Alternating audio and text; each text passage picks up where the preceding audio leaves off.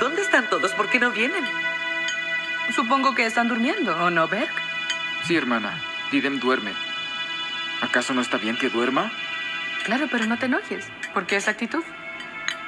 Bajar, hija, ¿me pasas el queso? Claro, abuela. Entonces, Didem duerme, pero ¿dónde está Seref? ¿O Bilur? Por lo general se levantan temprano siempre. Aquí estoy, no se preocupe, señora Dilruba, ni por su hija. Buenos días. Buen día. Veo que estás muy feliz esta mañana. Es que hoy es un día maravilloso. Y no se preocupe por Vilur, ella vendrá muy pronto. Recibe una visita tan agradable. ¿Quién vino a verla? Qué extraño. ¿No se lo imagina? Su yerno, el señor Kenan. Nos dio una grata sorpresa. Parece que extrañaba mucho a sus hijos y a su esposa. ¿En serio? Qué lindo.